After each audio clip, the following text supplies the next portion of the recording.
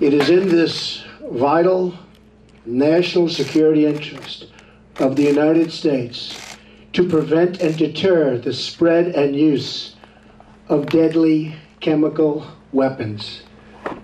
There can be no dispute that Syria used banned chemical weapons, violated its obligations under the Chemical Weapons Convention, and ignored the urging of the UN Security Council.